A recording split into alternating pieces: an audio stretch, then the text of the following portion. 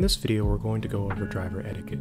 Driver etiquette is what allows us as RC racers to continue to race without much hindrance, confusion, and general frustration. These are unwritten rules that people should follow but don't always talk about. Oh, this might be the closest thing to a rant video I'll ever post. Before we begin however, this is your reminder to hit the bright red subscribe button if you like my channel and want to see more. Without much further delay, let's begin. First let's start with the pits. This is something that I'm guilty of doing sometimes, and that's trying to take up as little space as possible. Now if you go to a track where there are no pits and you bring your own trailer or pit table, you don't have to worry too much about this. However, if you go to one that does have their own pits, please try to avoid taking up too much space. There's nothing worse than having to set up somewhere really inconvenient because someone's using the whole table for themselves. Well, I'm lying, there are things worse than that, but we'll get there. Try to be as organized as possible.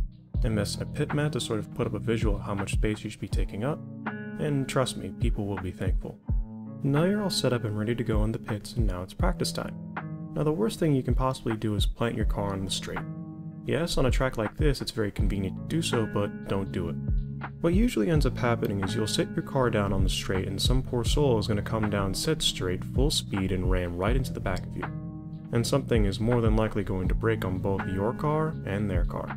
I'm not saying that it's going to happen every time you do put your car down on the straight, what I'm saying is that it's likely to happen eventually, and when it does, it's really going to suck. Speaking of which, if you end up crashing and flipping on a high speed or high traffic part of the track, be sure to call it out to the other drivers on the stand. A simple look out on the back straight or look out right after the kickup will help others to know where to be cautious on the track. Say it loud enough though and clear enough so that other people can actually hear you. If you still get hit at the point before you're flipped over, it isn't really your fault anymore. Depending on the track, there will always be a place where everyone puts down their car before they get on the driver's stand. Be sure to use it every time to build up a habit. Most larger tracks have a pit lane where you can put your car down, so be sure to use that as well. After you've run your battery and put it back on the charge, be sure to go out in the track and marshal for the other drivers while they practice. This is especially important on large tracks as it takes a long time to get off the driver's stand and flip your own car. It's generally just a nice thing to do for other drivers as more than likely other drivers have and will do it again for you. Now you're all ready to go and it's finally race time. What do you do when you get on that driver's stand? Well contrary to popular belief, you aren't going to be swerving to make sure nobody passes you ever.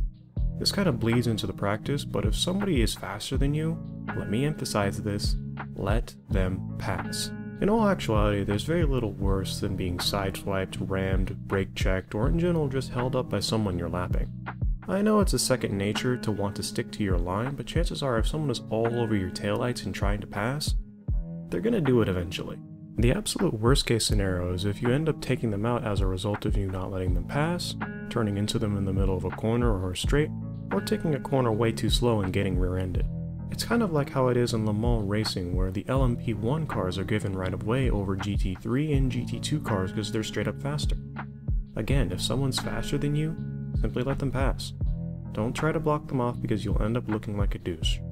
Trust me, I know. Now that the race is done, you have one last piece of personal responsibility. Marshalling. Marshals, for those who don't know, are simply the people who go out and flip cars when they roll over or crash into a wall. After a race, you as a racer have an obligation to marshal the next race. Unless you have a physical disability, the first thing you should be doing after you set your car down at your pit is going out to the track and marshalling for the next race. My general rule for marshalling is marshal the way you'd want to be marshaled. If you flipped over, you wouldn't want the person closest to you to be on their phone or something like that. Always go for the car that crashed first if multiple cars crash near you, always run, never walk, and never pick up a car by the wheels. The reason for this is people have a tendency to lay on the throttle when they're on their lid. This is fine when you're trying to get the attention of a marshal, but when they see you, please just let off. Nobody wants to grab something that's spinning at 16,000 RPM with their bare hands. I have a few cuts on my hands from people doing this and I can say it isn't fun. One little side note is also when you're marshalling a car to try and flip them back onto an area where they're not going to get run into by another car. That's just another side note. Those are all of the unwritten rules I can think of that people unfortunately tend to shirk from time to time. If you can think of any other unwritten rules that people tend to ignore that I missed, feel free to put them in the comment section below. Also, if you liked the video, hit the like button and subscribe to the channel if you want to see more. We're really close to a 500 subs and I can't thank you enough. I'll see you later.